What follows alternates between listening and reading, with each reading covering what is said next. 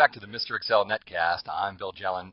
A cool trick today. We have a data set here, transactional data, and our manager wants a graph of the top five customers.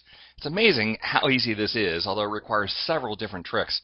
First thing we want to do, of course, is sort by customer. So I choose one cell in the customer column and click the A to Z button. Now we're going to add subtotals. So data subtotals. At each change in customer, we're going to use the sum function and add that to the revenue column. Click OK. And once we've added the subtotals in, it of course added subtotals at every change in customer, we're going to collapse down to the number 2 view and choose one cell in the revenue column and sort descending, Z to A. Now what we should have is all of our customers, one line per customer, and they're ordered in descending sequence by revenue. I'm going to choose the top five customers and press Alt and semicolon. Alt semicolon is the cool trick that says, hey, we're going to select just the visible cells and not the hidden detail rows.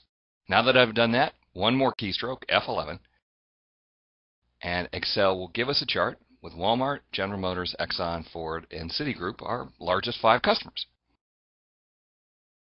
Now, in theory, this same trick could be used to produce the top 10, top 20, although you have to be careful. Eventually, you have a non-contiguous selection that's too large for the series formula.